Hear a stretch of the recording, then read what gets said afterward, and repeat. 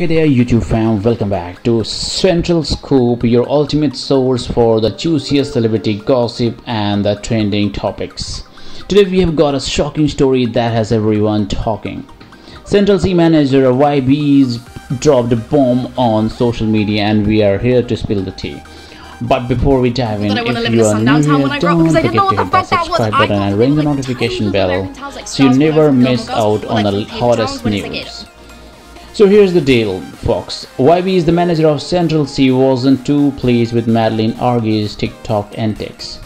He went out of his way to make reason, a bold statement where there's on like Twitter. literally 20 people and they will drive pickup trucks. That's what I thought sundown town was. Only learned this year off of this app that that is But what exactly happened? Let's break it down. YB did something that got everyone's attention. He liked the tweet that confirmed that uh, shocking news what a sundown town is. Why have cute name if not cute? Do you know what I mean? Ah! that Madeline Argy and Central had broken up.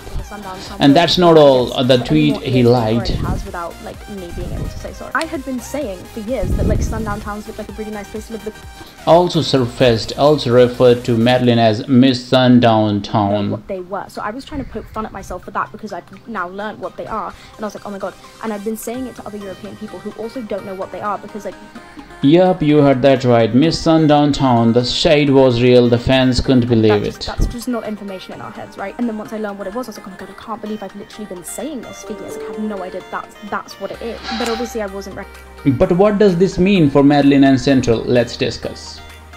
Social how, media. uh, distressing it could be to hear someone just like joking about that when that's a very and I didn't understand very current issue for like a lot of people. Like they still exist, and that's Exploded with reactions. Fans were left shocked by this revelation, many of them. horrifying. And I can imagine that it's very frustrating to hear a white person joking about something like that when that's actually an issue that could be very close to your heart. So even though Just like me, had no clue what a sundown town was until this controversy. I mean, seriously, but I'm saying this who knew it? Thing that I didn't realize I'd been saying. It could easily make people who have suffered at the hands of this kind of culture feel uh, very For those of you who are still in the dark, a sundown town is a place with a history of racial I've never had anyone segregation. make me feel like that. Yeah, you heard that's why I that right. Now, there you have it, folks. Bye bye for now. We'll be back with more news for you all. Till then, stay fabulous.